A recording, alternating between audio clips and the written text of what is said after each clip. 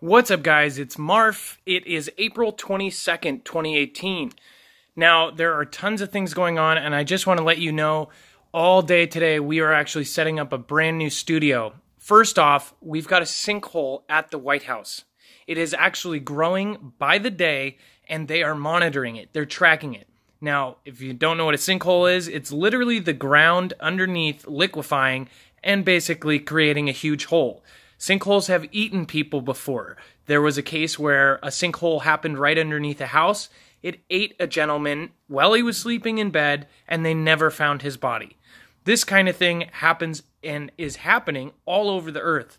And people aren't saying, oh, the earth is changing, that something's happening. There's been cracks in several different countries opening up, uh, some bigger than a mile wide, some, uh, you know, multiple football fields wide. We just had Kenya, Eastern Washington, um, Nigeria. We had one in Afghanistan. We had one uh, that just opened in California. So these things are changing our earth as we speak something is going on. We've got the Hawaiian volcano, and it just opened up more than 20 fissures. Another fissure, it's blowing freaking smoke bombs. The lava that's hitting the water is causing a laze or a lava haze that is actually chemically dangerous for humans.